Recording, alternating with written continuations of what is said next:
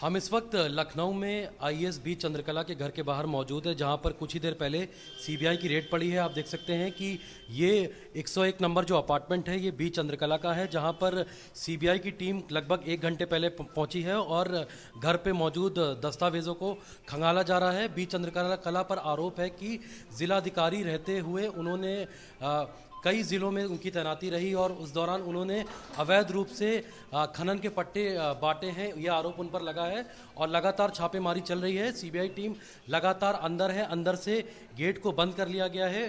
किसी को यहाँ पर आने की इजाज़त नहीं है और जो भी यहाँ मौजूद है मीडियाकर्मी, उनको बाहर रोका गया है। तो लगातार छापेमारी पड़ रही है और आई एस बी चंद्रकला इस वक्त यहाँ पर नहीं है। बताया जा रहा है कि वह छुट्टी पर है, लेकिन ज़ाहिर है कि इस पूरे मामले में उनकी मुश्किलें बढ़ेंगी, ये तय है।